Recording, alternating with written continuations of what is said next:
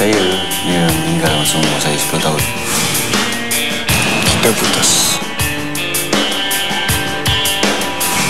Siapa tak kerti bahasa kau ke aku? Muka saya ni macam orang gila. Kan awak dah janji, awak akan keluar dinner dengan saya. Awak simpan muka surat terakhir ni. Malam ni awak bawa, saya pasti datang.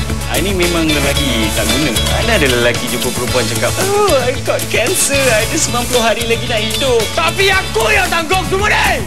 Bukan kau! Aku yang duduk dalam penjara tu! Along tak izinkan siapa-siapa jual rumah pusaka ni. Ini rumah pusaka peninggalan mak.